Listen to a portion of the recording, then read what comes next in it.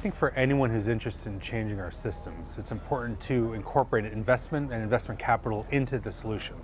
Because um, ultimately, uh, investment capital you know, is the fuel upon which our economic system and many other systems are based. Um, and so ultimately, it's about how do we shift the flow of resources to support a more inclusive, a more regenerative, and more sustainable system in the future.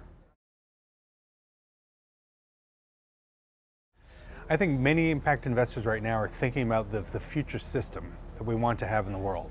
You know, one that is inherently more regenerative, more inclusive, and works for all people on the planet.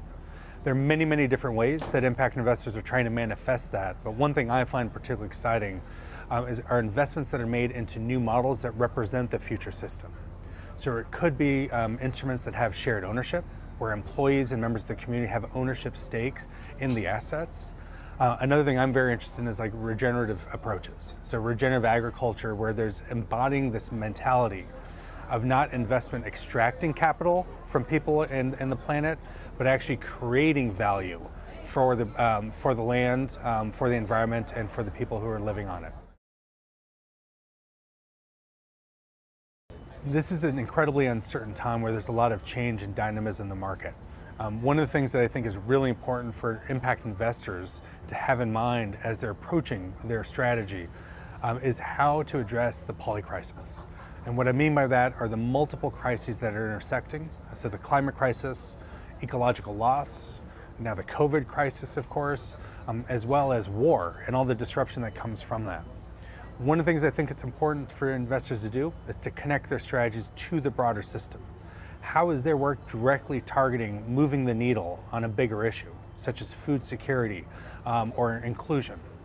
Another thing I think is going to be very critical uh, in the future is um, how to build resilience um, to external and unpredictable shocks. There's just more uncertainty in the world, and it's important that we create that resilience in the businesses and in the communities that impact investors are trying to support.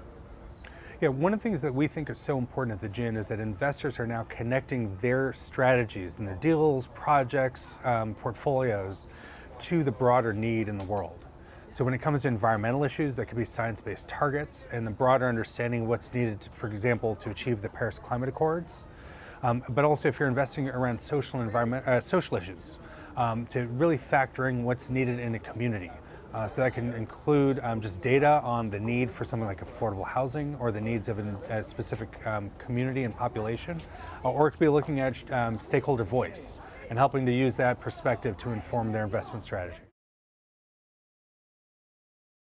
When we think about economic systems change at the GIIN, one of the things that we think is so important is to foster a world that works for all people on the planet. To do that, we think investors need to redefine success. So we're not just looking at financial outcomes, but we're also thinking about impact performance. How do we create value and progress for people on the planet alongside the financial returns to the investor? One of the things we think is so important that combines kind of tech-driven approaches with this new way of thinking is actually analytics around how we understand impact data.